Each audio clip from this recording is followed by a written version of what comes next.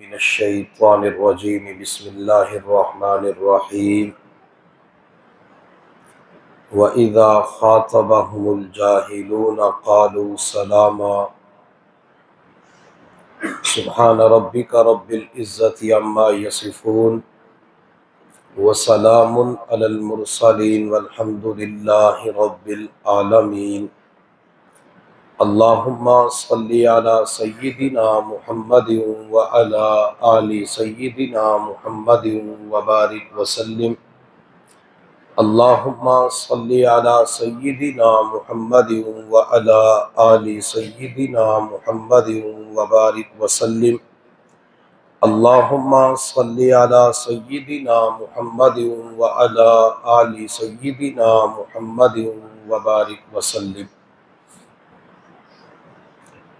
अल्लाह रब्बुल इज़्ज़त ने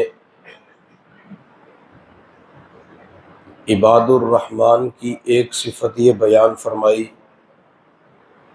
व इदा ख़ातबहुमुल जाहिलून जब जाहिल लोग उनसे गुफ्तगु करते हैं, कालू सलामा तो वो सलामती की बात करते हैं। इबादुर अपनी बोलचाल के अंदर बड़े मोहतात होते हैं। अगर जाहिल लोग इबादुर रहमान से बदतमीज़ी की बात करते हैं तो वो बदतमीज़ी का जवाब बदतमीज़ी के साथ नहीं देते, बल्कि सलामती की बात करते हैं। इस आयत मुबारक के टुकड़े में जाहिल से मुराद कौन है? जाहिल से मुराद बेपढ़ा लिखा जाहिल मुराद नहीं, बल्कि वो इंसान मुराद है जो जिहालत की बात करता है। बसा औकात इंसान पढ़ा लिखा होता है, उसके पास तालीम होती है, उलूम होती है, डिग्री होती है सनद होती है, लेकिन गुफ्तगु जहलों वाली होती है। जब वो बात करता है तो बदतमीज़ी करता है। जब गुफ्तगु करता है तो ईज़ा पहुँचाने वाली गुफ्तगु करता है। कई मरतबा लोगों को देखा, उनके पास तालीम होती है, लेकिन बोलने का ढंग नहीं होता। उनके पास डिग्रियाँ होती है, हुनर होता है, लेकिन जब वो बात करते हैं, अपना मुँह खोलते हैं तो अगले बंदे को बड़ी तकलीफ़ होती है। अगर आज के दौर में इंसान हुजूर सल्लल्लाहु अलैहि वसल्लम के तरीके पे चलते हुए अच्छे अखलाक का मुजाहरा करे तो वो हर किसी को राहत पहुँचा सकता है। मेरे अल्लाह ने कुरान अजीम शान के अंदर बोलने का तरीका भी समझाया है। जिस तरह चलने का तस्करा अल्लाह ने कुरान के अंदर बयान फरमाया, हुजूर सल्लल्लाहु अलैहि वसल्लम की मुबारक ज़िंदगी से पता चलता है कि चलने का अंदाज कैसा होना चाहिए। इसी तरह मेरे अल्लाह ने बोलने का तरीका भी समझाया है कि तुमने गुफ्तगु कैसे करनी है। वकूलसी हुसना। अल्लाह फरमाते हैं, जब लोगों से बातचीत करो तो अच्छे तरीके से बात करो। अल्लाह रब्बुल इज़्ज़त ने हज़रत मूसा अलैहिस्सलाम और हज़रत हारून अलैहिस्सलाम को जब फिर की तरफ़ भेजा, कि जाओ जाके फिर को दावत दो, जिसने अना रब्बू आला का दावा किया, जो खुदा बना फिरता है जब मूसा अलैहिस्सलाम हारून अलैहिस्सलाम फिर की तरफ़ गए तो अल्लाह रब्बुल इज़्ज़त ने मूसा अलैहिस्सलाम से फरमाया, हारून से फरमाया कौलना कि जब तुमने फिर से गुफ्तगु करनी है, मेरे दुश्मन से बातचीत करनी है, जिसने खुदाई का दावा किया है, तुमने नरम अंदाज के अंदर गुफ्तगु करनी है। ला अल्लाह यक्षा हो सकता है कि नसीहत हासिल कर ले या इसके दिल के अंदर खौफ खुदा पैदा हो जाए। अल्लाह अपने कलीम से फरमाते हैं, अल्लाह मूसा से फरमाते हैं, जब फिर से बातचीत करनी है तो नरम लहजे के अंदर गुफ्तगु करनी है। अल्लाह का नबी फिर से जब गुफ्तगु करते हैं तो नरम लहजे में बातचीत करते हैं और आज का इंसान अपनी ज़िंदगी पे गौर करे, जब ये अपने घर की चार दीवारी में शादीशुदा है, अपनी बीवी से बातचीत करता है, उस वक़्त अंदाज और लहजा क्या होता है? बेटा अबू से बातचीत करता है, उस वक़्त लहजा क्या होता है? छोटा भाई बड़े भाई से बातचीत करता है तो लहजा क्या होता है? कभी भाई अपने भाई के बारे में मूसा सलाम की ज़िंदगी का मुताला करे, हारून अली सलाम की ज़िंदगी का मुताला करे कि जब मूसा सलाम ने गुस्से में आकर हारून सलाम की दाढ़ी के बालों को पकड़ा था, उस वक्त हारून सलाम की कैफियत क्या थी? क्या हारून सलाम ने गुस्से में आकर मूसा के गिरेबान पे हाथ डाला? हज़रत मूसा सलाम जब गुस्से में आकर अपने भाई हारून सलाम की दाढ़ी के बालों को पकड़ते हैं तो हज़रत हारून सलाम ने कहा यब यबना उम्मा ला ताखुद बिलियती वला बिरासी। ए मेरी माँ के बेटे, मूसा, जिस माँ का तू बेटा है, उसी माँ का मैं भी बेटा हूँ। मूसा, जिस माँ की गोद में तू खेलता रहा, उसी माँ की गोद में मैं भी खेलता रहा। मूसा, जिस घर के आँगन में तूने तरबियत पाई है, उसी घर के आँगन और सहन में मैंने भी परवरिश पाई है। मूसा, अगर मेरा लिहाज नहीं करना मूसा, अगर छोटे का लिहाज नहीं करना तो कम अज कम माँ के रिश्ते का लिहाज कर लो। जिस माँ का तू बेटा, मैं भी उसी माँ का बेटा। जब छोटे भाई ने अपने बड़े भाई के सामने माँ का तस्करा किया, नरम अंदाज के अंदर गुफ्तगु की, हज़रत मूसा सलाम के सामने जब माँ का नाम आता है, मूसा सलाम अपनी माँ के नाम को सुनते ही अपने भाई हारून की दाढ़ी के बालों को छोड़ देते हैं और मूसा का जलाल जमाल में तब्दील हो जाता है। यहाँ मूसा के सामने भाई ने माँ का लफज इस्तेमाल किया और कई मरतबा घर की चार दीवारी में जब दो भाई आप इसके अंदर दस्तों गिरेबान होते हैं, एक दूसरे का गिरेबान पकड़ लेते हैं, एक दूसरे की जान के दुश्मन बनते हैं, माँ दौड़ के आती है, माँ आके हाथ जोड़ देती है कई मरतबा माँ सर से दुपट्टा उतार कर बच्चों के पाँव पे डाल देती है। माँ मिन्नत समाजत करती है। बेटा, मैं कह रही हूँ, अपने भाई का गिरेबान छोड़ दे। मैं कह रही हूँ, अपने भाई के ऊपर हाथ न उठाना। माँ सामने आकर मिन्नत समाजत करती है। लेकिन नौजवान अपनी माँ की तरफ़ देखते हुए अपने गुस्से को खत्म नहीं करता, जलाल को जमाल में तब्दील नहीं करता। जो अम्बियाई किराम के नक्शे कदम पे चलने वाला होगा अम्बियाई किराम की सीरत को अपनाने वाला होगा।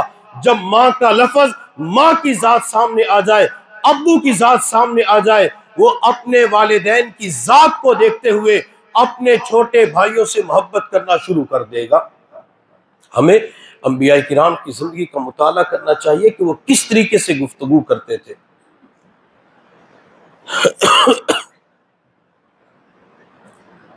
हज़रत हूद सलाम का मेरे अल्लाह ने कुरान में तस्करा फरमाया, कौम आद ने हज़रत हूद सलाम से कहा, इन्ना लनरा का फ़ी सफ़ाहती व इन्ना लनजुल्नु का मिनल काजिबिन। ए दाऊद, हम तो आपको बेवकूफ़ समझते हैं। किसको कह रहे हैं? नबी को। नबी अल्लाह ने भेजा। और उस नबी से कौम कह रही है, जिस कौम की तरफ़ हूद सलाम को भेजा गया हूद, इस कौम को तोहीद की दावत दो, मेरी तरफ़ बुलाओ। जब हूद सलाम अपनी कौम को दावत देते हैं, वो कौम कितनी जाहिल बन चुकी थी, जिहालत के गढ़े के अंदर गिर चुकी थी। अपने नबी से कहने लगी, तुम तो हमें बेवकूफ़ नज़र आते हो, अहमक नज़र आते हो, सिर्फ़ इसी के ऊपर इक्तफा नहीं किया। बल्कि वो कौम कहने लगी खुद हमारा ख्याल और गुमान तो ये है कि आप झूठ भी बोलते हैं। आप झूठों में से हैं। अगर कोई हमारे जैसा होता तो वो कहता, बेवकूफ़ मैं नहीं, बेवकूफ़ तू है। झूठा मैं नहीं, झूठा इंसान तू है। कजाब तू है, काजिब तू है। गंदा नालायक तू है।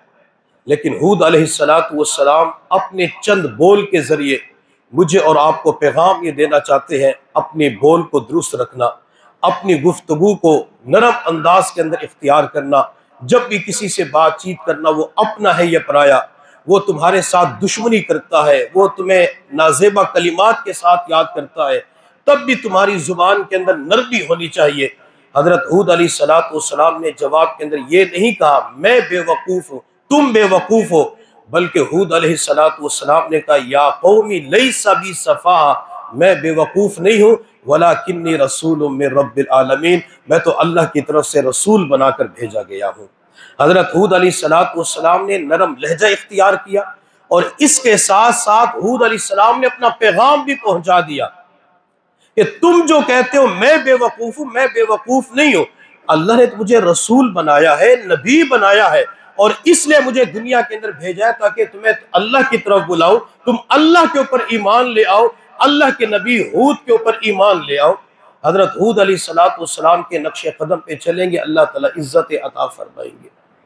मेरे अल्लाह ने कुरान अजीम शान के अंदर बोलने का अंदाज और तस्करा फरमाया, या सदीदा। ए ईमान वालो, अल्लाह से डरो और सीधी बात किया करो। अल्लाह ने पहले तकवा का हुक्म दिया। ईमान वालो, तकवा इख्तियार करो, अल्लाह से डरो। इसी वजह से हमारे मशाइ बुज़ुर्ग औलिया फरमाते हैं, पहले सोचो, फिर बोलो। पहले तोलो, फिर बोलो। गुफ्तगु करने से पहले सोचो, मेरी ज़ुबान से निकलने वाला बोल, ये जन्नत की तरफ़ लेके जाएगा या जहन्नम की तरफ़ मुझे लेके जाएगा? एक सहाबी हजूर वसल्लम की खिदमत में हाजिर हुए। अरस के, या रसूल अल्लाह सल्लल्लाहु अलैहि वसल्लम, मन नजात। निजात किन चीज़ों के अंदर है। आप सल्लल्लाहु अलैहि वसल्लम ने तीन चीज़ों का तस्करा फरमाया। अमलिक अली का लिसानक, अपनी ज़ुबान को कंट्रोल में रखो। अपनी ज़ुबान पे काबू रखो। वली यसा का बैतु का अपने घर को अपने लिए काफ़ी समझो। वब की अला खती अती का, अपने गुनाहों के ऊपर रोया करो। मेरे पैगंबर ने तीन बातों का तस्करा फरमाया। गुनाह हो जाए अल्लाह की नाफरमानी हो जाए तो अपने गुनाहों के ऊपर रब के सामने रोया करो और अपने घर को काफ़ी समझा करो। क्या मतलब? जब तुम अपनी पढ़ाई से फारिग हो जाओ, जब तुम अपने काम कारोबार से फारिग हो जाओ, अपनी दुकान बंद कर दो, अपना दफ्तर बंद कर दो, तुमने जहाँ तालीम हासिल करनी है, हुनर सीखना है, वहाँ से फारिग हो चुके हो। अब दोस्तों की तरफ़ ना जाओ, बल्कि फारिग होने के बाद अपने बीवी बच्चों की तरफ़ चले जाओ, अपने वालदेन की तरफ़ चले जाओ। अपने घर के अंदर चले जाओ। और आज का दौर फितनों का दौर है। हर तरफ़ से गुनाह की दावत मिल रही है। मैं नौजवानों की खिदमत में एक दरख्वास्त करूँगा। जब आप अपनी पढ़ाई से, अपने काम से फारिग हो जाए, ये गपशप के बहाने जो रेस्टोरेंट पे वक्त गुजारा जाता है, चौक चौराहे के ऊपर वक्त गुजारा जाता है, दोस्तों के साथ गपशप के बहाने घर की चार दीवारी से बाहर दूर वक्त गुजारा जाता है। वो वक्त वहाँ गुजारने की बजाय अपने घर की चार दीवारी के अंदर अपनी वालदा के पास गुजारे, अपने वालिद के पास गुजारे, अपनी बहनों के साथ वक्त गुजारे, भाइयों के साथ वक्त गुजारे, शादीशुदा खामद है, अपने बच्चों और बीवी के साथ वक्त गुजारे, ये फितनों का जमाना जो अपने काम काज से फारिग होने के बाद अपने घर के अंदर वक्त गुजारेगा, अल्लाह फितनों के ज़माने में उसके ईमान की हिफाजत फरमाएँगे। लेकिन आज के दौर के अंदर नौजवान कहते हैं, मुझे तो अपने घर के अंदर सुकून नहीं मिलता। मुझे सुकून तो दोस्तों के पास मिलता है, मुझे सुकून तो होटल पे जाके मिलता है, मुझे सुकून तो नशावर चीज़ों के अंदर मिलता है। ये नशावर चीज़ें मुख्तलिफ़ नौजवान इस्तेमाल करते हैं एहतिकाफ़ के दिनों में भी इस्तेमाल करते हैं। मुझे नाम नहीं आता, साथी कुछ नाम ले रहे थे, जब उसको इस्तेमाल करते मुख्तलिफ़ जायके होते हैं, अंदर की तरफ़ खींचते हैं तो फिर बाहर धुआँ निकलता है। क्या एहतिकाफ के दिनों में इसके इस्तेमाल की इजाज़त हो सकती है? और फिर ये जितनी भी नशावर चीज़ें होती हैं, इंसान के अंदर के निज़ाम को ख़राब कर देती है। गुर्दे फेल हो जाते हैं, फेफड़े ख़राब हो जाते हैं, अंदर के अमराज का इंसान शिकार हो जाता है। अगर जवानी की हिफाजत चाहते हो नशा आवर चीज़ें अपनी ज़िंदगी के अंदर से निकाल दें, निस्वार अपनी ज़िंदगी से निकाल दें, सिगरेट अपनी ज़िंदगी से निकाल दें, शीशा इस्तेमाल करते हो अपनी ज़िंदगी से निकाल दें कोई भी नशा आवर चीज़ इस्तेमाल करके अपनी ज़िंदगी से निकाल दें। अगर ये चीज़ें ज़िंदगी से निकाल देंगे, अल्लाह ताला कयामत के दिन जन्नत के अंदर शराब पिलाएँगे। अल्लाह फिर दुनिया की शराब नहीं पिलाएँगे, जन्नत की शराब पिलाएँगे और बाज ऐसे खुश नसीब भी होंगे जिन्होंने शराब को हाथ नहीं लगाया होगा। बाज ऐसे खुश नसीब भी होंगे नशा आवर चीज़ों को इस्तेमाल नहीं किया होगा। जब ये रब की बारगाह में पहुँचेंगे, मेरे अल्लाह ने कुरान में फरमाया रब्बुहुम शराबन तहूरा। अल्लाह अपने हाथों से उन्हें शराब तहूर पिलाएगा। जन्नत के अंदर किसी को कोई शराब पिला रहा होगा। हजूर सल्लल्लाहु अलैहि हौजे कौसर पे खड़े होंगे, सहाबा भी खड़े होंगे, अबू बकर हौजे कौसर का पानी पिला रहे होंगे, उमर अली हसनैन करीमैन पानी पिला रहे होंगे, मुआविया पानी पिला रहे होंगे। और किसी को नबी सलाम पानी पिला रहे होंगे और बाज ऐसे खुश नसीब जन्नत के अंदर होंगे। इनको आम बंदा जन्नत का पानी नहीं पिलाएगा। इन्हें शराब जन्नत की आम पिला नहीं पिलाई जाएगी, बल्कि मेरा अल्लाह शराब तहूर पिलाएगा। सोचने की बात है, जब अल्लाह अपने हाथों से शराब तहूर हमें पिलाएँगे, बंदे की नज़र रब जलाल के ऊपर जाएगी। इंसान दुनिया को देखता है मेरे अल्लाह ने इस दुनिया को कितना खूबसूरत बनाया। अल्लाह ने कितने दुनिया के अंदर तफरी मकाम हमें दिखा दिए, जब दुनिया कितनी खूबसूरत है, मेरा वो अल्लाह कितना खूबसूरत होगा, वो अल्लाह खुद कितना प्यारा होगा, वो अल्लाह खुद कितना सोहना होगा, जिस बंदे को शराब तहूर पिले पिलाई जाएगी, अल्लाह उसे अपना दीदार भी अता फरमाएँगे, और जब मेरा अल्लाह जन्नतियों को अपना दीदार अता फरमाएँगे, अपने हाथों से शराब तहूर भी पिलाएँगे जन्नती अल्लाह रब्बुल इज़्ज़त को देखेंगे, वो कई सौ साल तक रब को देखते चले जाएँगे हती कि अल्लाह ताला नूर के पर्दे पे सामने फरमाएँगे। अल्लाह फरमाएँगे, अब घरों की तरफ़ लौट जाओ। ये अल्लाह का दीदार करने के बाद जब घरों की तरफ़ जाएँगे, इनके हुस्न जमाल में इजाफा हो चुका होगा। हती कि जब अपने महल के अंदर पहुँचेंगे, बीवी सामने आएगी। इसके हुसन की तजल्ली जब बीवी के ऊपर पड़ेगी अल्लाह उसके हुसन जमाल के अंदर भी इजाफा फरमा देंगे। अल्लाह के हाथों शराब पीना चाहते, नहीं पीना चाहते। अगर पीना चाहते, मैं नौजवानों से हाथ जोड़ के दरख्वास्त करूँगा एहतिकाफ के दिनों में भी। बाहर के माहौल में, स्कूल, कॉलेज, यूनिवर्सिटी के माहौल में अपने आप को नशा आवर चीज़ों से बचाएँ। ये ज़िंदगी मेरी और आपकी ज़ाती नहीं है, ये अल्लाह की तरफ़ से अमानत है। अगर कोई बंदा अपने हाथ की उंगली को काटना चाहे तो काट सकता है, नहीं काट सकता। ये उंगली अल्लाह की तरफ़ से अमानत है। अगर कोई अपनी रगों को इश्क मजाजी के अंदर किसी की मोहब्बत में काटना चाहे तो इजाज़त हो सकती है। अपने जिसम का खून निकाल कर किसी को दिल बनाकर उसे भेजना चाहे, शरीयत मुतार इसकी इजाज़त देती है। हरगिज़ इजाज़त नहीं देती। मैं एक लड़के को जानता हूँ, इश्क मजाजी के अंदर मुबतला हो गया, लड़की के प्यार के अंदर मुबतला हो गया। उसने इश्क मजाजी के अंदर अपने हाथ की उंगलियाँ काट दी हती कि ये दोनों हाथों उंगलियाँ काट दी, पाँव की उंगलियाँ भी काटने के लिए तैयार हो गया। वजह क्या है? जिस लड़की के साथ मोहब्बत करता था, प्यार करता था, वहाँ पे रिश्ता नहीं हो रहा था। लड़की के वालदेन नहीं मानते थे। उसकी मोहब्बत में आके, उसके प्यार में आके अपने हाथ की उंगलियाँ भी काट दी, अपने जिसम का खून भी निकाल दिया। सूख के कांटा बन चुका था।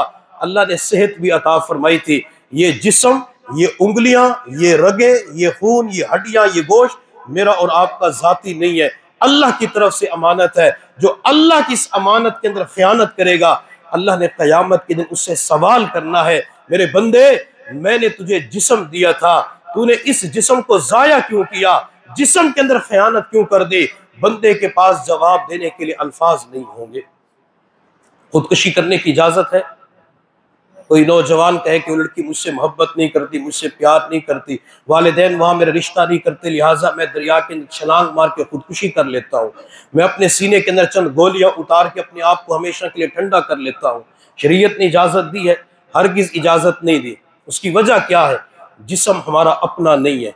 और जो दुनिया के अंदर खुदकुशी करेगा, जो अपने आप को कत्ल करेगा तो वो जहन्नम की आग के अंदर जलेगा। मेरे महबूब सल्लल्लाहु अलैहि वसल्लम ने फरमाया जहर के साथ अपने आप को दुनिया में ख़त्म करेगा।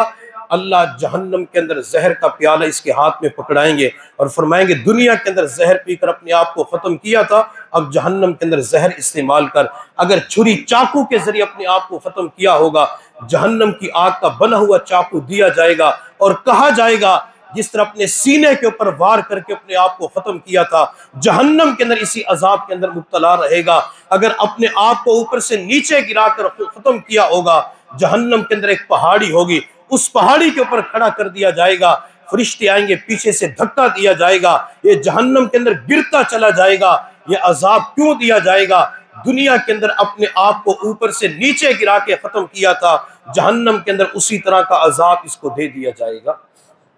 अपनी जवानियों की हिफाजत करें। जवानी ज़िंदगी में एक मरतबा मिलती है बार बार नहीं मिलती। जवानी होती है, जिसम बंदे का साथ देता है कि नेक अमल करो, लेकिन दिल साथ नहीं देता। और यही जवान जब बुढ़ापे की उम्र में पहुँच जाता है, उस वक्त दिल तो चाहता है कि नेक अमल करो, सलात तस्वीर की नमाज़ पढ़ो, मुराकबा करो, नफल पढ़ो, लेकिन जिसम साथ नहीं देता। आज नौजवानों के पास जिसम है आज नौजवानों के पास ताकत क़वत है, दुआ मज़बूत है, हड्डियाँ मज़बूत है, जो चाहे वो कर सकते हैं। अगर ये नौजवान थोड़ी सी हिम्मत करें, ये थोड़ी सी कोशिश करें, आज भी इन नौजवानों से वही काम ले सकता है जो मेरे अल्लाह ने मोहम्मद बिन कासिम 18 साल के नौजवान से काम लिया था। वो मोहम्मद बिन कासिम 18 साल का नौजवान इलाके को फतह करते हुए सिंध के इलाके में पहुंचकर, फिर मुल्तान के अंदर पहुंचकर यहाँ फतह का झंडा गाड़ दिया। अगर आज किसी को ईमान की दौलत मिली है तो मोहम्मद बिन कासिम की बदौलत मिली है। मोहम्मद बिन कासिम के पास क्या था? उसके पास सिर्फ़ जवानी की नेमत थी, जवानी की दौलत थी। अपनी जवानी को सही इस्तेमाल किया। अल्लाह ने फतूहत अता फरमा दी। आज भी नौजवान अपनी जवानी को सही इस्तेमाल करे नशावर चीज़ों के अंदर इस्तेमाल न करे, ये लड़की के चक्कर के अंदर अपनी ज़िंदगी सेहत को बर्बाद न करे। अल्लाह रब्बुल इज़्ज़त को इसके ऊपर प्यार आएगा, बल्कि हुजूर सल्लल्लाहु अलैहि वसल्लम ने फरमाया, दुनिया के अंदर किसी नौजवान को लड़की अपनी तरफ़ माइल करती है, मेरे पास आ, आकर मेरी ख्वाहिश को पूरा कर दे। लेकिन ये नौजवान आगे से कहते, इन्नी अखाफुल्ला मैं अल्लाह से डरता हूँ, मैं ये काम नहीं कर सकता। मेरे पैगंबर ने फरमाया, कयामत के दिन अल्लाह इस नौजवान को अरश का साया अता फरमाएँगे। तो मेरे अल्लाह ने कुरान में फरमाया, या ईमान वालो, अल्लाह से डरो। और मैं मोतकफ़ीन अहबाब से ख़ास कर नौजवानों से दरख्वास्त करूँगा एहतिकाफ़ के दिनों में अमीर का डर नहीं होना चाहिए। उस्ताद का, मुअल्लिम का डर नहीं होना चाहिए। रब जलाल का डर होना चाहिए। अल्लाह से अल्लाह का डर मांगा करें। आप सहन के अंदर बैठे तो ये डर नहीं होना चाहिए कि मुझे कैमरे के अंदर कोई देख रहा है। मेरी कोई निगरानी कर रहा है। उस वक्त यूँ कहा करें, अल्लाह मेरी निगरानी कर रहा है। अल्लाह मुझे देख रहा है। मैंने एहतिकाफ का जब नाम लिखवाया था एहतिकाफ के लिए आया था, मैंने उस वक्त अहद किया था कि अमीर की इतात करूँगा। जैसे वो कहेंगे, उसके मुताबिक मैं चलूँगा। मैंने अहद किया था और अल्लाह ने कुरान में फरमाया वफ़ू बिल अहदी अपने अहद को पूरा करो। इन अहद मसूला। क़यामत के दिन अहद के बारे में, वादे के बारे में सवाल किया जाएगा। मैंने क़यामत के दिन अल्लाह को जवाब देना है और अल्लाह मेरे अहद को देख भी रहा है, अल्लाह सुन भी रहा है। मैंने रब जलाल को जवाब देना है, जिसके अंदर रब जलाल का खौफ होगा, रब का डर होगा, वो वक़्त गुजारेगा, चाहे वो आराम करे, बैठ जाए, वो खाना खाए अल्लाह इस डर और खौफ की वजह से उसे नेमतें और नेकियाँ ज़रूर अता फरमाएँगे। आज जहर की नमाज़ के बाद जो तालीम हुई तो उस तालीम के अंदर भी ये बात हुई कि दोस्त अहबाब अगर मिलने के लिए आए तो उनसे थोड़ी देर मुलाकात करने के बाद कहें कि आप तशरीफ़ ले जाएँ, मैंने ईद के बाद, बल्कि मैंने यहाँ पे नेक अमाल करने में ईद के बाद मुलाकात करूँगा। मैं तमाम मोतकफ़ीन से दरख्वास्त करूँगा ये रात के वक़्त बयान के बाद आपके दोस्त अहबाब, रिश्तेदार मिलने के लिए आ जाते हैं। आप मस्जिद के अंदर भागते तो नहीं है दोस्तों के साथ। सिर्फ़ मस्जिद के सहन के अंदर बैठ के आप खाना खा लेते हैं। बाहर से चीज़ें मंगवा कर वो खा लेते हैं। साढ़े दस से लेकर एक बजे तक, डेढ़ बजे तक आप दोस्तों के साथ गपशप करते हैं। आपकी सिर्फ़ ज़ुबान इस्तेमाल होती है। आपकी निगाहें गलत नहीं देखती। मस्जिद का भागते हुए बेअदबी भी नहीं करते। लेकिन जब ये ज़ुबान आपकी बार बार चलती है तो इस ज़ुबान की वजह से पूरे दिन की नेकियाँ बर्बाद हो जाती हैं। पूरे दिन की नेकियाँ ख़त्म हो जाती हैं। वो आके कभी सियासी तबसरे करता है, कभी आके किसी और मौजू पे बात करता है, फिर आप अपने दोस्तों के साथ खुल जाते हैं। जब दोस्तों के साथ खुलते हैं तो मज़ाक भी करते हैं, तंज भी करते हैं, ताना भी दे देते हैं। और कई ऐसे भी होते हैं जो बाहर के माहौल में गालियाँ निकालते रहे, यहाँ बैठ के फिर गालियाँ भी निकाल देते हैं। अब जो एहतिकाफ के दिनों में दोस्तों की मजलिस के अंदर बैठ कर गाली निकाले, या एहतिकाफ का अजर सवाब बाकी रहता है क्या नेकिया, नूरानियत बाकी रहती है, सब कुछ उसका ज़ाया हो जाता है।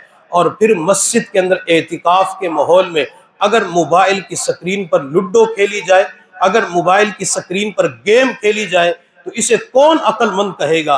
इसे कौन खुशबक कहेगा? ये मस्जिद के माहौल के अंदर भी अपने आप को लफ्जियात से, फजूलियात से बचा न सका, बाहर के माहौल के अंदर कैसे बचा सकता है?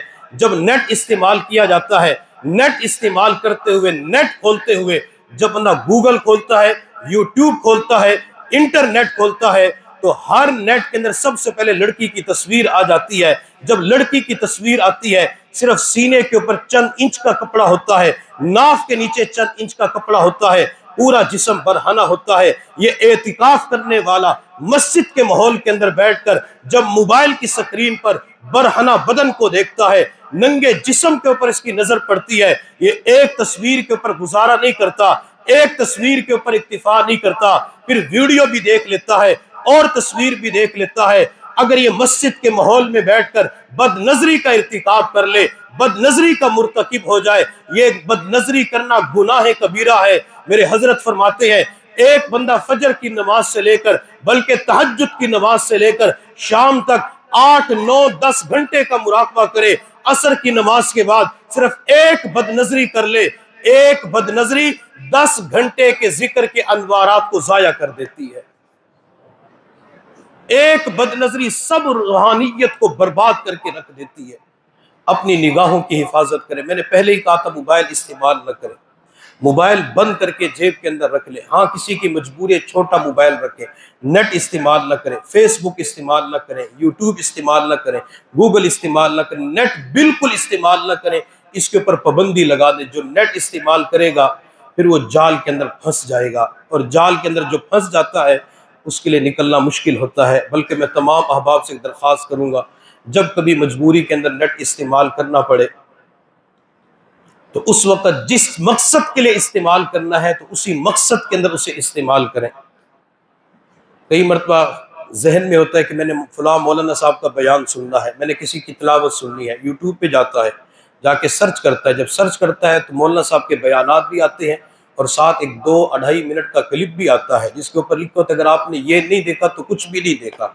ये कहते बयान बाद में सुन ले तो पहले इसको देख लेता हूँ। वो अढ़ाई मिनट का क्लिप खोलता है, क्लिक करता है जब उसे खोलता है तो उसके अंदर गंद भरा हुआ होता है, या किसी फ़िल्म का सीन होता है, जब इसको देखने के अंदर महव हो जाता है, फिर एक अढ़ाई मिनट के क्लिप के ऊपर गुजारा नहीं करता, फिर उसकी अगली किस्त भी देखता है, पिछली किस्त भी देखता है, जिस तरह अर्तगल ड्रामे की नौजवान किस्त देखते रहे, शुरू से लेकर आखिर तक कई किस्तें देखे, ये नौजवान इतना उसके अंदर मुबतला हो जाता है, जिस मकसद के लिए नेट खोला था, वो मकसद पूरा नहीं करता, ये गुनाह कर करके फिर मोबाइल को बंद करके सो जाता है, बल्कि कई मरतबा कैफियत ये होती है कि मोबाइल चल रहा होता है, वीडियो चल रही होती है और ये अपने बिस्तर के ऊपर सो चुका होता है।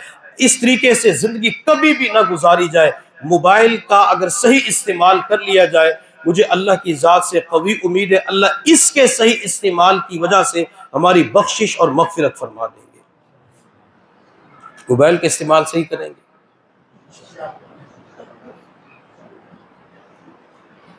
मेरे अल्लाह ने कुरान अजीम शान में फरमाया, या वक़ूलु सदीदा ए ईमान वालो, अल्लाह से डरो और सीधी बात किया करो।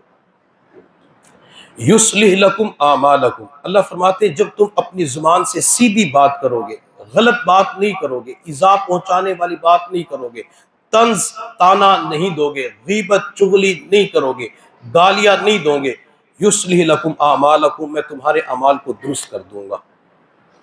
हमारे माशरे के अंदर हमारे बच्चे गालियाँ भी निकालते हैं।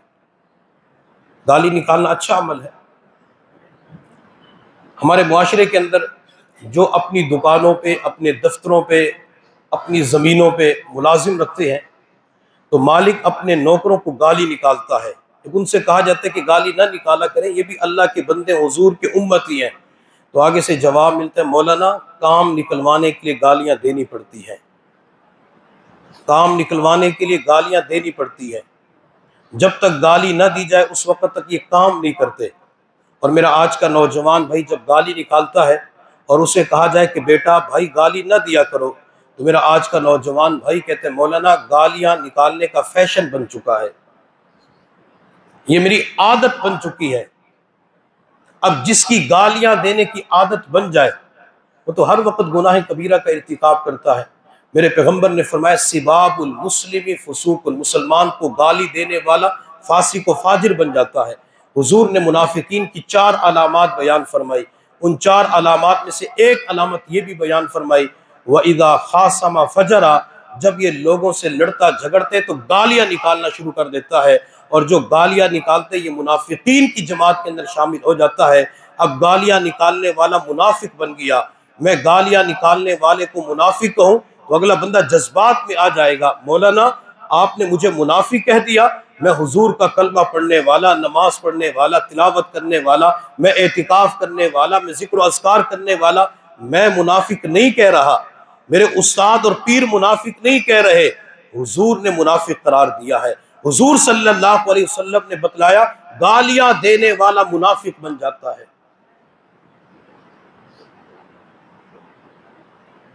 और कभी किसी को ताना ना दिया करें। मेरे महबूब सल्लल्लाहु अलैहि वसल्लम के दो सहाबा एक जगह पे इकट्ठे थे। हज़रत अबू ज़र गफ़ारी रज़ी अल्लाह तहो और हज़रत बिलाल रज़ी अल्लाह तहो बिलाल ग़ुलाम है और अबू ज़र अपने कबीले के सरदार हैं। हज़रत अबू ज़र ने गुस्से में आकर बिलाल से कहा, यब न सऊदा, ओ काली औरत के बेटे, बिलाल, तू भी काला, तेरी माँ भी काली तो काली औरत का बेटा है। हज़रत बिलाल को जब रंग के काला होने का ताना दिया गया तो बिलाल बर्दाश्त न कर सके। और आज भी मुआशरे के अंदर यही ताने दिए जाते हैं। किसी को रंग का ताना दिया जाता है, किसी को गुर्बत का ताना दिया जाता है, किसी को कद काट का ताना दिया जाता है, किसी का कद छोटा है तो उसको ताना दिया जाता है, कोई गरीब है तो उसे ताना दिया जाता है, कोई किसी छोटी बिरादरी फैमिली से ताल्लुक़ रखता है तो उसे हसब नसब बिरादरी का ताना दिया जाता है ज़िंदगी के अंदर कभी किसी को ताना ना देना। हजूर सल्लल्लाहु अलैहि वसल्लम की हदीस का मफहूम है, जब कोई किसी को ताना देते, किसी भी किस्म का ताना देता है, ताना देने वाला जब तक उसी मरज के अंदर मुबतला नहीं होगा, अल्लाह ताला उस वक्त तक बंदे को मौत नहीं देंगे। ताना देने वाला उस मरज के अंदर, बीमारी के अंदर मुबतला होगा, उसके बाद उसे मौत आएगी। अगर आज कोई किसी को गुर्बत का ताना देता है जब तक ये गरीब नहीं होगा, उस वक्त तक से मौत नहीं आएगी। तो हज़रत अबू जर ने बिलाल से कहा, ओ काली औरत के बेटे, हज़रत बिलाल रज़ी अल्लाह से जुमला बर्दाश्त ना हुआ। हुजूर की खिदमत में चले गए। कितना प्यारा दौर था। जब परेशानी आती थी, हुजूर के दरवाजे पे पहुँच जाते थे। जब कोई दुख आता था, जाके हुजूर को सुनाया करते थे। जब कोई परेशानी आती थी, हुजूर की चौखड़ पे पहुँच जाते थे। अपने अंदर के दुखड़े हुजूर को सुनाया करते थे। हज़रत बिलाल रज़ी अल्लाह हजूर की चौखड़ पे पहुँचे, हुजूर के दर पे पहुँचे। मेरे पैगंबर ने बिलाल को देखा, बिलाल की आँखों में आँसू थे। आप सल्लल्लाहु अलैहि वसल्लम ने फरमाया, बिलाल, क्या हुआ? बिलाल, क्यों रो रहे हो? हज़रत बिलाल ने जवाब दिया रसूल अल्लाह अबू जर ने मुझे ताना दिया है। बिलाल, तू काला, तेरी माँ काली, तू काली औरत का बेटा है। मेरे पैगंबर ने फरमाया, इसी वजह से रो रहे हो। जी अल्लाह के नबी अगर अबू ज़र सिर्फ़ मेरी बात करता, मैं बर्दाश्त कर लेता, लेकिन अबू ज़र ने तो मुझे मेरी माँ का भी ताना दिया है कि तेरी माँ भी काली है। मेरी माँ को भी काला करार दिया गया। आप सल्लल्लाहु अलैहि वसल्लम की खिदमत में बिलाल ने कहा रसूल अल्लाह ये रंग का गोरा होना, सफ़ेद होना, काला होना मेरे इख्तियार में नहीं है। अल्लाह ने मुझे काला बनाया है, लेकिन अबू ज़र मुझे ताने देता है। मेरे पैगंबर ने फरमाया, जा अबू ज़र को बुला के ले आ। हज़रत बिलाल चले गए। अबू ज़र से कहा, अबू ज़र, हुजूर ने याद फरमाया है, अबू ज़र हुजूर की खिदमत में हाजिर हुए। मेरे महबूब सल्लल्लाहु अलैहि वसल्लम ने गुस्से के अंदाज में अबू ज़र की तरफ़ देख के फरमाया, अबू ज़र, अब तो मुसलमान हो चुके हो, या ईमान लाने के बाद भी जाहलीत की बातें अभी तक ख़त्म नहीं हुई? हज़रत अबू ज़र ने हाथ जोड़ के कहा रसूल अल्लाह गलती हो चुकी है। मुआफ़ी माँगता हूँ, माजरत करता हूँ, सोरी करता हूँ। आज के बाद किसी को ताना नहीं दूँगा। मेरे महबूब सल्लल्लाहु अलैहि वसल्लम ने अबू ज़र को मुआफ़ कर दिया। अल्लाह के नबी वहाँ से तशरीफ़ ले गए। थोड़ी देर के बाद बिलाल ज़मीन के ऊपर लेट गए। अबू जर खड़े हुए थे। हज़रत अबू जर ने बिलाल से कहा, बिलाल, अल्लाह की खातिर एक मरतबा मुआफ़ कर दो। बिलाल, मैंने आपका दिल दुखाया। हजूर भी मुझसे नाराज़ हो गए। हज़रत बिलाल खामोश खड़े रहे। हज़रत अबू ज़र ने दूसरी मरतबा कहा, बिलाल, अल्लाह की खातिर मुआफ़ कर दो। बिलाल, आपका मकाम और मरतबा तो वो है। आप चलते ज़मीन पे है। कदमों की आवाज़ जन्नत के अंदर सुनाई देती है। बिलाल, आपने बैतुल्ला की छत के ऊपर खड़े होकर आज़ान दी है। बिलाल, आपके बारे में हजूर ने फरमाया था, बिलाल, दफन कहीं और होगा, लेकिन क़यामत के दिन मेरे कदमों से अजान देता हुआ उठेगा। बिलाल, अल्लाह के नबी ने तेरे ही बारे में फरमाया था, क़यामत के दिन जब मैं जन्नत की तरफ़ जाऊँगा, मेरी सवारी की लगाम बिलाल के हाथ में होगी। बिलाल, तू मुअज्जन रसूल है बिलाल, तू अजान देता है।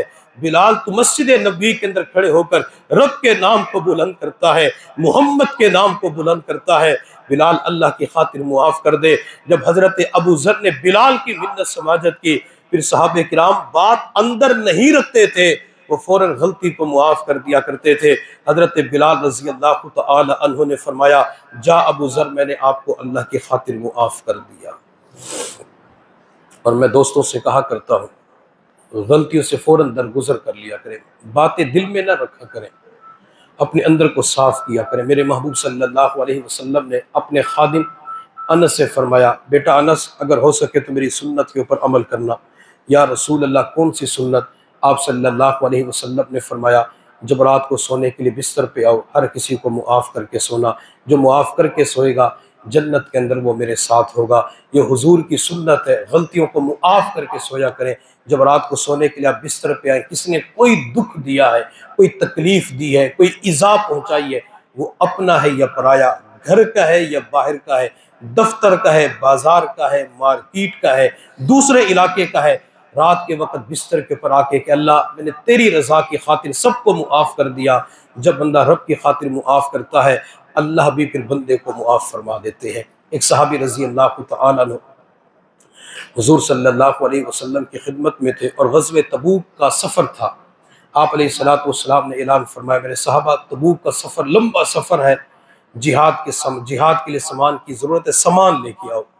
अबू बकर सिद्दीक पूरे घर का माल उठा के लाए, उमर आधा माल उठा के लाए। उस्मान गनी ने कई हज़ार दराहिम, दनानीर, ऊँट, घोड़े लिखवा दिए। वो साहबी फरमाते हैं, मैं वहाँ से उठा, घर चला गया, मैंने घर के ऊपर नज़र दौड़ाई, मुझे कुछ भी नज़र ना आया, न कोई पैसे मिले, न दीनार मिले, न कोई तलवार तलवार मिली, न घोड़ा मिला, बड़ा परेशान हो गया अत्ता कि शाम का वक़्त हो गया, जब रात का वक़्त हो, मैं अपने बिस्तर के ऊपर बैठ गया, मैंने आसमान की तरफ़ देखा, और आसमान की तरफ़ देख के मैंने कहा, अल्लाह, तेरे नबी ने मांगा, और मैं तेरे नबी को पेश न कर सका, अल्लाह मेरे पास होता मैं तेरे नबी के कदमों में ढेर कर देता, तेरे नबी के ऊपर कुर्बान कर देता। अल्लाह मेरे पल्ले कुछ भी नहीं है। लेकिन वो सहाबी आसमान की तरफ़ देख कर रब की बार बारगाह में कहते, ए अल्लाह, आज तक जिसने मेरे साथ ज्यादती की है, अल्लाह तेरी रज़ा की खातिर मैं उसे मुआफ़ करता हूँ। अल्लाह, मेरा ये चंदा कबूल कर ले। अगर तूने मेरा ये चंदा कबूल कर लिया, अपने नबी को बता दे। ये साहबी पूरी रात यही कहते रहे हती के तहजद की नमाज़ का वक़्त शुरू हो गया। तहजद की नमाज़ अदा की, फिर फजर की नमाज़ के लिए मस्जिद नबी के अंदर तशरीफ़ ले गए, हुजूर के पीछे नमाज़ अदा फरमाई। हुजूर सल्लल्लाहु अलैहि वसल्लम ने नमाज़ से फरागत पर अपने सहाबा की तरफ़ मुख्तियों की तरफ़, प्यारों की तरफ़ देख के फरमाया, मेरे सहाबा, रात को चंदा किसने दिया है? सहाबा फरमाते, हम सोच रहे थे, कौन खुश नसीब है जिसने रात को इतना ज़्यादा चंदा दिया हुजूर खुद पूछ रहे हैं कि चंदा किसने दिया? जिस सहाबी ने गलतियों की मुआफ़ी का चंदा दिया था तो फरमाते, मेरे तो वह गुमान में भी नहीं था कि मेरा नाम आएगा। मैं न उठा। हजूर सल्लल्लाहु अलैहि वसल्लम ने दूसरी मरतबा फरमाया कि रात को चंदा किसने दिया है? साहब रसूल फरमाते, मैं फिर भी ना उठा। हुजूर ने तीसरी मरतबा मेरी तरफ़ देख के फरमाया, खड़ा हो जा, बता रात को चंदा क्या दिया? साहब रसूल कहते मैंने अर्ज़ के या रसूल अल्लाह मेरे घर के अंदर कुछ भी नहीं था और मैंने आपको चंदा भी देना था, आपकी खिदमत के अंदर कुछ पेश भी करना था। मैंने आसमान की तरफ़ देख कर रात के अंधेरे में रब जलाल की बारगाह के अंदर कहा, ए अल्लाह, आज तक मेरे साथ जिसने ज़्यादा की है, तेरी रजा की खातिर मैं उसे मुआफ़ करता हूँ। मेरा ये चंदा कबूल कर ले। मेरे पैगंबर ने मुस्कुराते चेहरे के साथ फरमाया और मेरे प्यारे, तूने रात के वक्त क्या चंदा दिया? अल्लाह ने तेरे चंदे की वजह से सबके चंदों को कबूल फरमा लिया। मुआफ़ी इस ज़ुबान से होती इसलिए मेरे हज़रत फरमाते हैं, जब तुम सफ़र करो, एक घंटे का सफ़र, एक दिन का सफ़र, जब सफ़र करके वापस आओ, तुमने जुदा होना है तो आप इसके अंदर एक दूसरे से कहा करें, कहा सुना मुआफ़ कर दें। कहा सुना मुआफ़ कर दें। यूँ कह दें, कोई गलती कोताही बेअदबी हो चुके तो मुआफ़ कर दें। अगला बंदा कहते कोई बात नहीं, या मुस्कुरा पड़ता है इस बात की अलामत होती है कि बंदा राज़ी है, नाराज़ नहीं है। जो अपने ज़िंदगी के अंदर इन जुमलों को इस्तेमाल करेगा, वो दोस्त अहबाब को खुश करने वाला होगा, रिश्तेदारों को खुश करने वाला होगा। जब मखलूक खुदा इससे खुश होगी तो मखलूक का खालिक भी बंदे से खुश हो जाएगा। अल्लाह फरमाते हैं कि जब तुम ज़ुबान से सीधी बात करोगे, सीधी गुफ्तगु करोगे, मैं तुम्हारे अमाल को दुरुस्त कर दूँगा। वह यग फिर लकुम और मैं तुम्हारे गुनाहों को मुआफ़ भी कर दूँगा। अगर हमने अपनी बोल को, अपनी गुफ्तगु को, अपनी ज़ुबान को सही कर लिया, अल्लाह फरमाते, तुम्हारे आमाल दुरुस्त करूँगा, तुम्हारी बख्शिश भी कर दूँगा। इससे पता चला कि बंदे की बख्शिश तब होगी जब बंदा अपनी ज़ुबान की हिफाजत करने वाला होगा, जो अपनी ज़ुबान को कंट्रोल करने वाला होगा, इस ज़ुबान से खैर के जुमले निकालने वाला होगा, रब फ़ौरन बंदे को मुआफ कर देगा। अरबी ज़ुबान का मकूला है अल्लिसान जिरम सगीर व जुर्म कबीर ये ज़ुबान जसामत के एतबार से गोश्त का छोटा सा टुकड़ा है लेकिन इस ज़ुबान से होने वाले गुना बहुत बड़े हैं। जितने भी बड़े बड़े कबीरा गुनाह हैं वो इसी ज़ुबान से सरजद होते हैं। इसलिए मैं तमाम मोतकीफ़ीन हजरात से दर, दरख्वास्त करूँगा इस ज़ुबान से अल्लाह का ज़िक्र किया करें, दरूद शरीफ पढ़ा करें, कुरान की तिलावत किया करें, खैर के जुमले इस्तेमाल किया करें, कलमा तजीबा का विरद करें, जितने भी मोतकीफ़ीन हैं, इन अयाम के अंदर वो कम अज कम सत्तर हज़ार मरतबा कलमा तजीबा का विरद करें, जो सत्तर हज़ार मरतबा कलमा पढ़कर किसी मरने वाले को इसाले सवाब करेगा, अल्लाह उसकी मफफरत फरमा देंगे। ये सत्तर हज़ार कलमा पढ़कर अपने लिए जखीरा करेगा, जब इसका इंतकाल होगा अल्लाह इस सत्तर हज़ार कलमे की बरकत से इसकी मफफरत फरमा देंगे। कलमा तजीबा का विरद करे। किसी का कोई रिश्तेदार फौत हो चुका है, वो उसके लिए इसाले सवाब करे। और जब बंदा ज़ुबान से कलमा पढ़ते ला इलाहा इल्लल्लाह तो फरिश्ता इस कलमे को लेकर आसमान की तरफ़ जाता है। आसमान से फरिश्ता ज़मीन की तरफ़ आ रहा होता है। दोनों की आप इसके अंदर मुलाकात होती है। ऊपर वाला फरिश्ता नीचे वाले फरिश्ते से पूछता है, कहाँ जा रहे हो? ये फरिश्ता जवाब देता है रियाजुल जन्ना मस्जिद रशीदाबाद के अंदर आज फुला फुला बंदे ने कलमा तजीबा पढ़ा। मैं उसके कलमे को रब के हुजूर पेश करने के लिए जा रहा हूँ। फिर ये नीचे वाला फरिश्ता ऊपर वाले फरिश्ते से पूछता है, आप कहाँ जा रहे हो? ऊपर वाला फरिश्ता जवाब देता है, रियाजुल जन्ना मस्जिद के अंदर जिसने कलमा तजीबा का विरद किया, मैं रब जलाल की तरफ़ से उसकी मगफिरत का पैगाम लेके जा रहा हूँ। कलमे की बरकत से अल्लाह ताला उसकी बख्शिश फरमा देते। अल्लाह ने बहुत सारे मौाक़े अता फरमाए हैं। यहाँ आके अपने आप को मुआफ़ करवा सकते हैं। ला इलाहा पढ़ के अपने आप को मुआफ़ करवा सकते हैं। ताक रातों के अंदर अपनी बख्शिश करवा सकते हैं। हमने आज शब कदर की जहर की नमाज़ के बाद जो तालीम है, उसकी निशानियाँ पढ़ी है कि शब कदर की निशानियाँ क्या होती हैं। शब कदर के अंदर जागने का अहतमाम करें। मस्जिद के अंदर आए हैं तो यहाँ पे जाग जाग के इबादत करें। अपने आप को थकाएँ। ये जिसम अल्लाह की खातिर थकेगा, रब को भी प्यार आ जाएगा। बल्कि मैं तो ताक रातों को भी शब कदर ही शुमार करता हूँ, लेकिन इस मरतबा, अल्हम्दुलिल्लाह, मैं हर रात ही को शब कदर शुमार कर रहा हूँ कि अल्लाह ने मेरे लिए ताक रातें भी शब कदर बनाई हुई है और जुफ्त रातें भी शब कदर बनाई हुई है। आपका रोज़ा कौन सा है? तेईसवा रोज़ा है, मेरा चौबीसवा रोज़ा है। आपकी रात चौबीस की होगी और मेरी रात पच्चीस की होगी। जब आपकी ताक रात आती है, उसे भी शब कदर शुमार करता हूँ। जब सऊदिया के अतबार से शब कदर आती है तो उसे भी ताक रात, उसे भी शब कदर शुमार कर लेता हूँ। तो लिहाजा इन रातों के अंदर जाग जाग के इबादत का अहतमाम करें। इन अल्लाह ताला बंदे की, बंदे के गुमान के ऊपर फैसले फरमाते हैं। हदीस खुद सी है, अना इंदा अब दी भी अल्लाह फरमाते हैं कि मैं बंदे के गुमान के मुताबिक मामला करता हूँ। बंदे का गुमान ये होता है कि ये रात शब कदर है, अल्लाह उसी रात को शब कदर बना देती है। बंदा दुआ मांग के फारिग होते कहते अल्लाह ने मुआफ़ कर दी, अल्लाह मुआफ़ कर देता है। बंदा कहते मैंने दुआ मांगी, अल्लाह मेरी दुआ को कबूल करके परेशानियाँ दूर करेगा, अल्लाह परेशानी दूर कर देते हैं। लेकिन जब कोई बंदा कहते अल्लाह तो मेरी सुनता ही नहीं अल्लाह तो मेरे कबूल ही नहीं करता। और कभी कहते वो तो अमीरों की सुनता है, गरीबों की नहीं सुनता।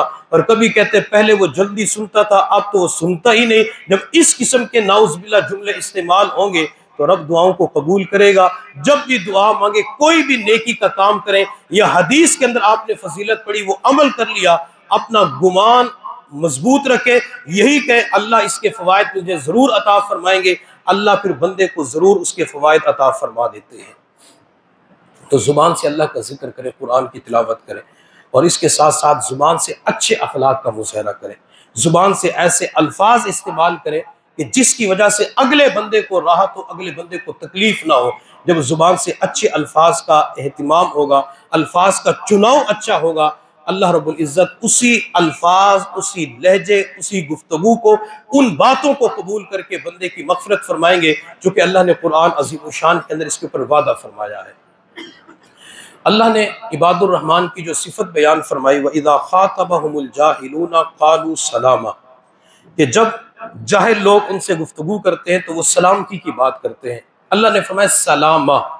मुफसरीन ने इसकी दो तफसीरें बयान की हैं। सलामा की एक तफसीर तो ये है कि जब जाहिल बंदे जिहालत की बात करते हैं तो उस वक़्त वो सलामती की बात करते हैं। कई मरतबा लोगों को देखा वो गुस्से में आके, जज्बात में आके गालियाँ निकालना शुरू कर देते हैं। लेकिन अगला बंदा कहते, कोई बात नहीं भाई, ऐसी बात ना करो, ये ना करो, वो ना करो। वो ठंडे जिसम के साथ खड़ा होता है और कह रहा होता मामले को ख़त्म करो, मामले को रफा दफ़ा करो। ये जो चंद बातें की जाती है, मामले को रफा दफ़ा करो, ये सलामती की बात करने वाले होते हैं।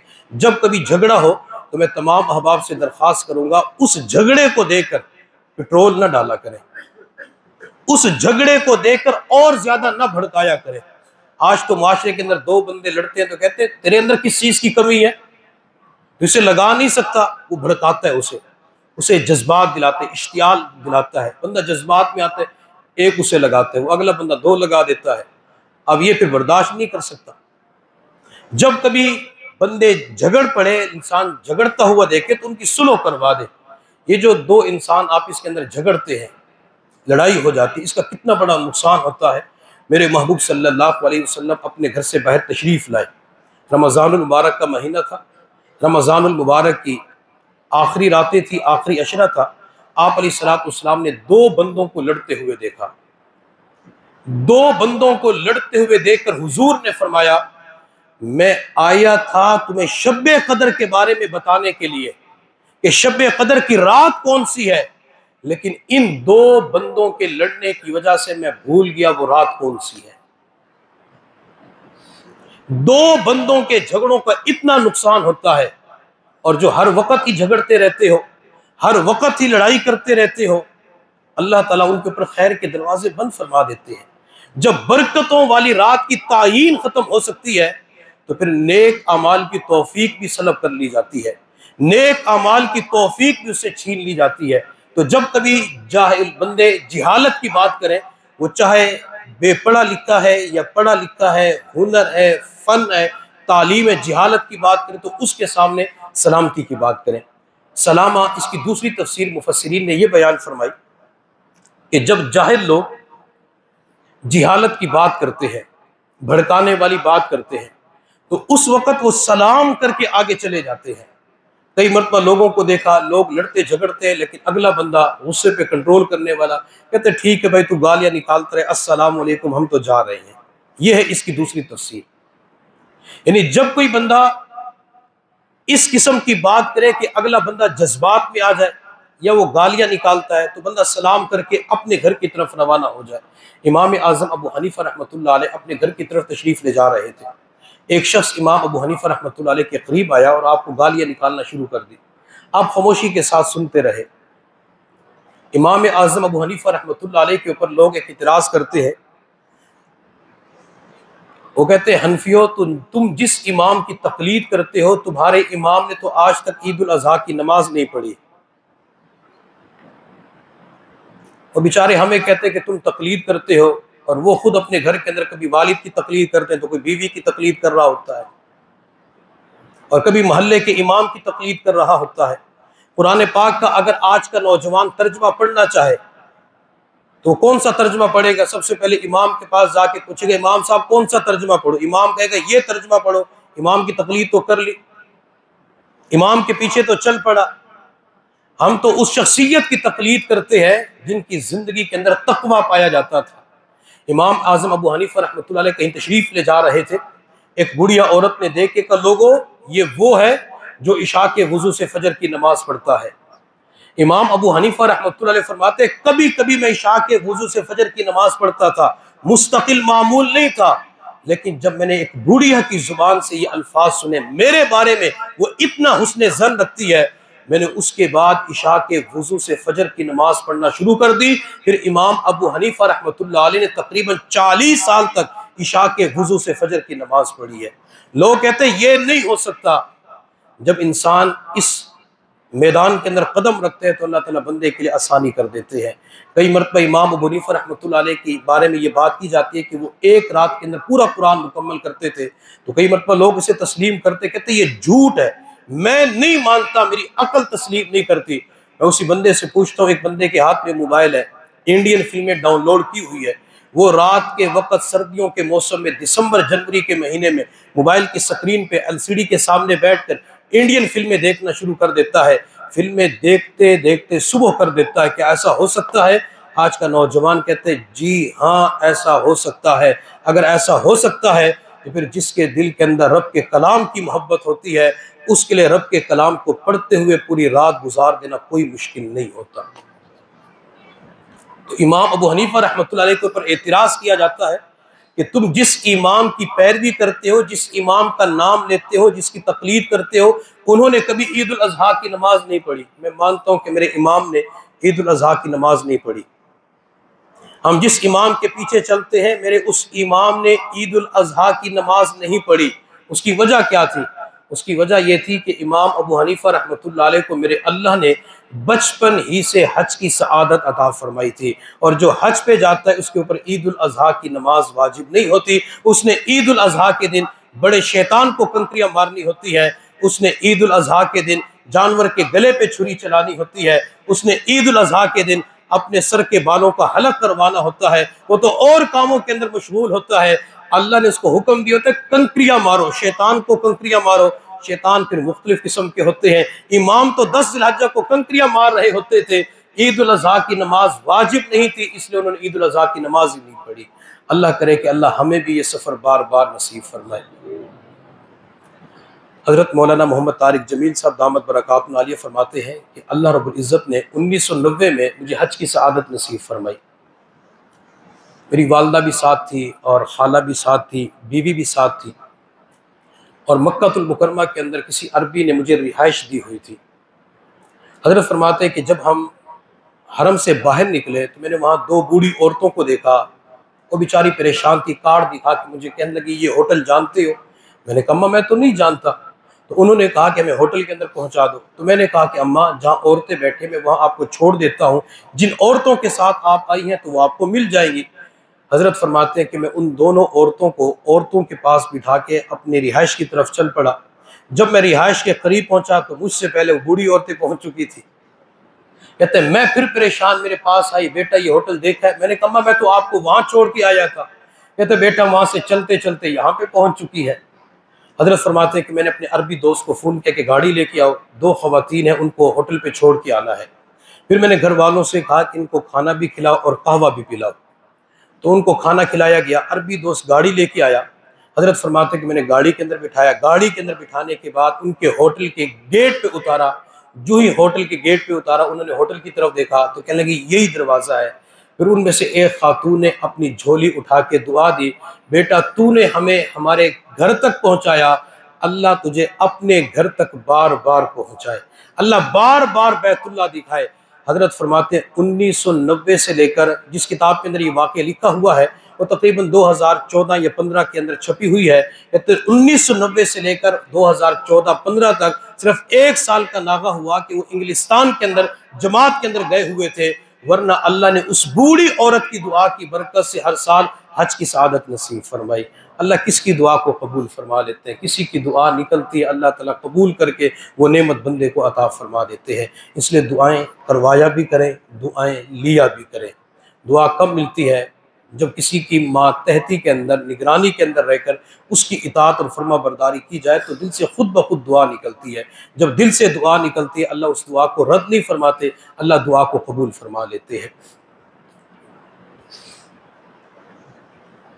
तो सलामा की दूसरी तफसीर मुफसरीन ने यह की है कि जब जाहिल लोग उनसे जिहालत की बात करते हैं तो वो सलाम करके आगे चले जाते हैं। हमें चाहिए कि हम सलाम की आदत अपनाएँ। इन सलाम के ऊपर मुस्तकिल बयान करेंगे कि सलाम के फ़जाइल क्या हैं और गैर मुस्लिम को, काफरों को सलाम कैसे करना होता है।